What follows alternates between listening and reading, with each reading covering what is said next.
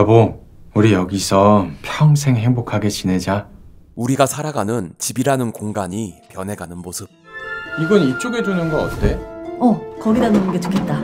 여보, 나 임신했어.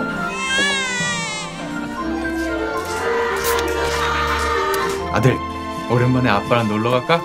아니, 나 친구들이랑 놀기로 했어. 아, 이제 곧 다시 크리스마스네. 우리 아들이 벌써 중학생이라니. 이제 슬슬 입시 걱정할 나이도 됐고 말이야. 축하합니다. 알아서 한다니까. 아니 이 자식이 어디서 빨리 여보, 나 잘하고 있는 거 맞지? 애도 힘들 시기잖아. 어, 엄마 엄마 엄마 나 나 대학교 합격했어 어머머머. 우리 아들 너무 너무 축하해. 경민아, 밥 먹으러 나와. 엄마 나 약속 있는데 밥 벌써 차렸는데?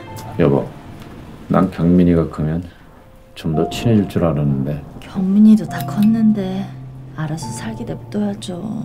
이젠 혼자서 다 잘해야 한다. 응? 그럼요 아빠 갈게요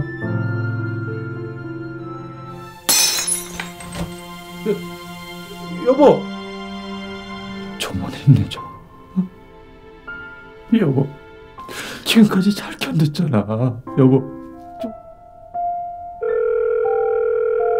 네, 아버지. 자, 너 올해는 크리스마스 때 오는 거지? 아, 아, 아버지 죄송해요. 이번엔 꼭 가려고 했는데. 너무 외로워. 여보, 나 잘하고 있는 거 맞지? 못 버티겠어.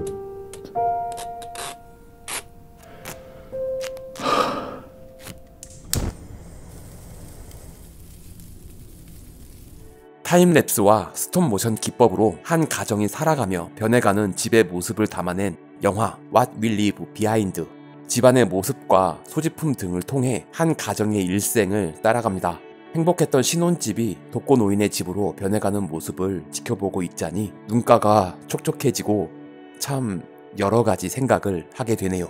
이 영화는 5월 16일부터 30일까지 인디그라운드 홈페이지 온라인 상영관에서 무료로 보실 수 있습니다. 고정 댓글을 확인하시기 바랍니다. 구독과 좋아요는 사랑인 거 아시죠? 좋은 모양 클릭해서 알림 설정을 하시면 다음 영상 업로드를 바로 할수 있습니다. 시청해 주셔서 감사합니다. 지금까지 센타장이었습니다. 다음에 또 만나요.